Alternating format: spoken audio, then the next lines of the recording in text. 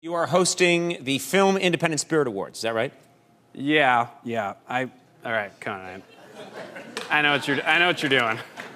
what? Yeah, I know what you're trying to get going here, but I, I'm not going to make out with an eagle. So Not going to do what? I. I refuse to make out with an eagle. That's not going to happen.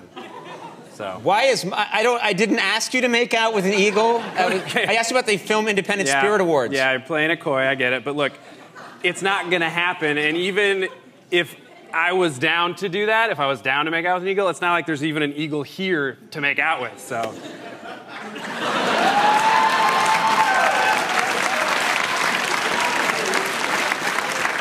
All right. So, okay, fine, there's one here, but even though there's one here, I don't know what that eagle's into. I'm not gonna give you a guarantee that that eagle even wants to make out with me, so.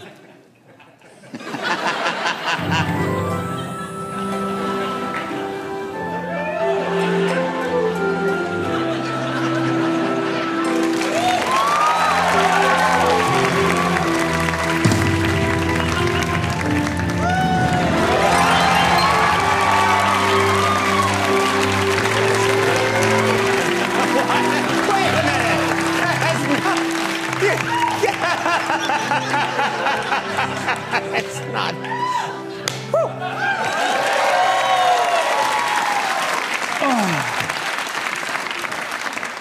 We just got a nice uh, look into your technique. Yeah.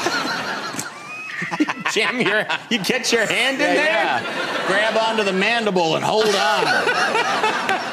I do what eagles like. That's, So, uh, yeah, so I'm hosting the Independent Spirit Awards, and uh, I think it's gonna be great. how could you know, be so coy? You just you just clearly met that eagle, made out, and then were just able to detach immediately. Well, you know, I'm, it was casual. I, I'm sure that the eagle doesn't care. Was-